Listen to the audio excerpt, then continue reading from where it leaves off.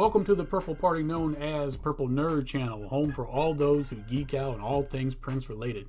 On February 4th, 2007, Prince headlined the halftime show at Super Bowl 41, performing Let's Go Crazy, Baby I'm a Star, a medley of All Along the Watchtower and the Best of You, and of course closing out the show with Purple Rain, which he performed in the pouring rain. The show would reintroduce the world to Prince, giving confirmation to the masses that when it comes to performing live, Prince is a force to be reckoned with.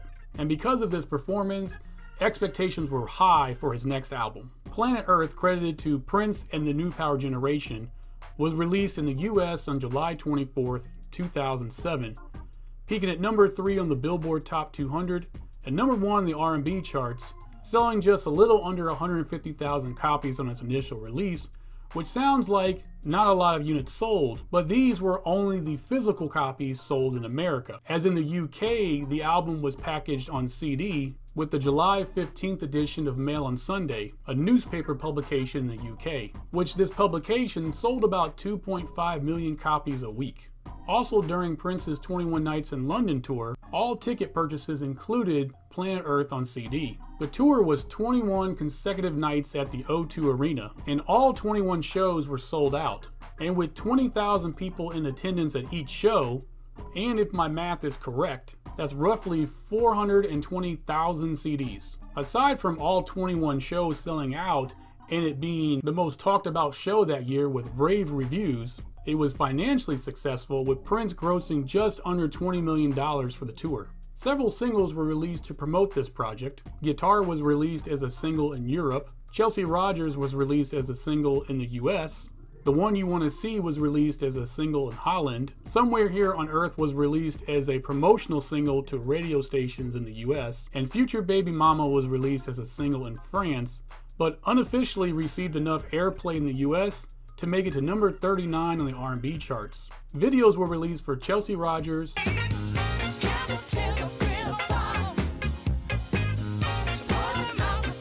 Somewhere Here on Earth.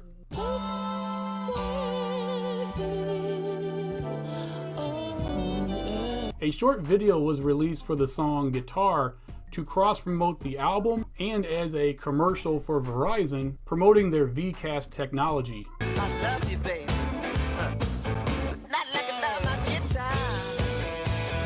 The full video would finally be released and added to the official Prince YouTube channel in 2019. Let's explore the music of Planet Earth. We open up with Planet Earth.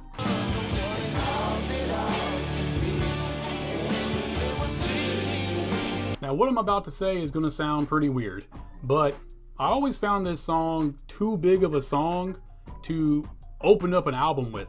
With its bigger than life, operatic approach and its overwhelming cinematic feel makes it a really hard song to follow up, as in my opinion, it would be a better choice if it closed out the album. In the song, Prince talks about the day where the earth will be ours again, as in the Jehovah's Witness faith, which Prince was really deep into at the time, believed that after the second coming of Jesus Christ, the new heaven will be made on earth.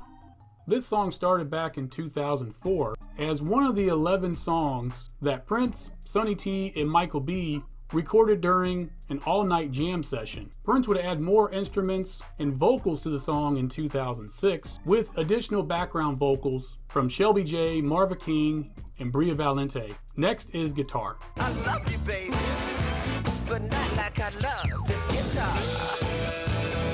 This is another song that comes from the aforementioned jam session from 2004. This fun rock song has Prince just killing it on guitar, as he's basically blown off a lady so he can go ahead and record, as he's just not into her enough to stop his scheduled recording time, as he values creating music over creating time with her.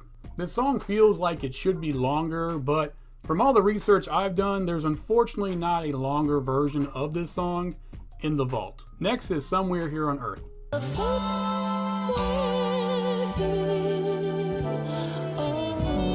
With our first ballad, Prince speaks of the perfect woman that is still out there somewhere. And bet you by golly wow, Prince sings this song beautifully. Next is The One You Want to See.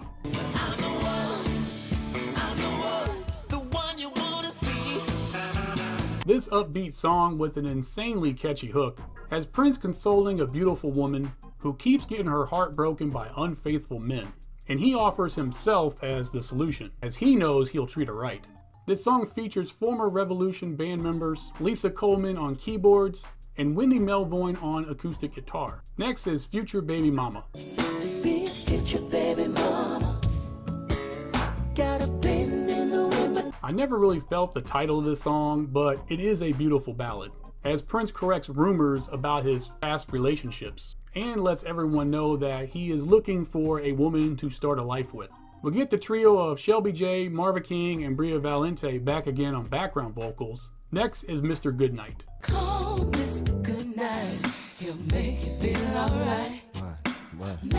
This song has always been a mixed bag for me, as on one hand, I love the smooth groove of the music and the chorus with Shelby J and Bria Valente holding Prince down on background vocals. And I also like Prince's lyrics, but I'm just not feeling his delivery. To me, it's a really dated flow and it really doesn't fit the song. And I'm actually a huge fan of Prince's rapping abilities, but it's just not doing it for me on this one. Next is All the Midnights in the World.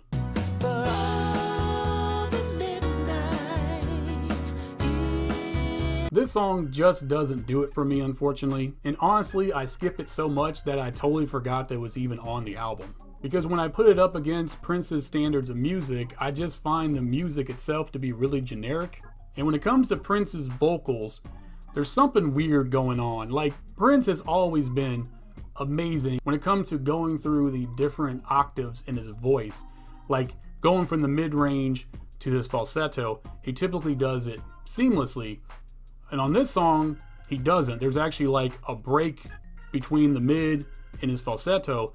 And I'm going to have to assume it was a stylistic choice because he's never done this before. And it gives this effect as if he's trying to find his pitch and not. And it just doesn't work for me on the song.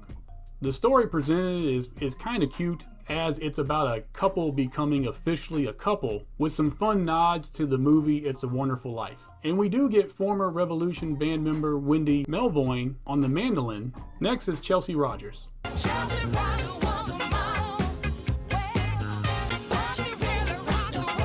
This upbeat, funky dance track talks about a presumably fictitious fashion model and designer named Chelsea Rogers.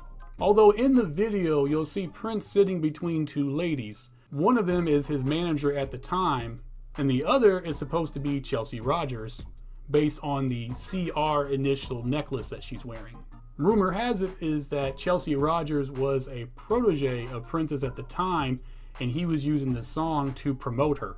The song describes the character of Chelsea Rogers as a role model as she handles her business and she is spiritually sound as just as much as she is beautiful. Not only does our background trio of Shelby J, Marva King, and Bria Valente show back up on this one, but we also get Maceo Parker on horns and Sheila E on percussion. Next is Lion of Judah. Like the Lion of Judah, Judah, the Lion of Judah is referenced in the Bible as a metaphor for Jesus Christ, as referenced in Revelation 5 5. In the song, Prince questions his previous marriage to Mayte and sees his faults in that marriage, which gives him actually doubts about his new marriage to Manuela. And he asks if their love can be as strong as the love from Jesus, as Prince believes it will require a love that strong to make this thing work out. We close out with resolution.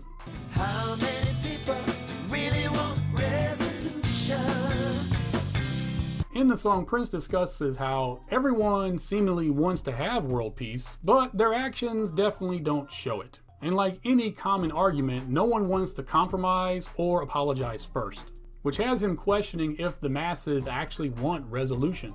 Our trio of background singers are back on this one, as well as our former Revolution band members, Lisa and Wendy, with Lisa on keyboards and Wendy on acoustic guitar.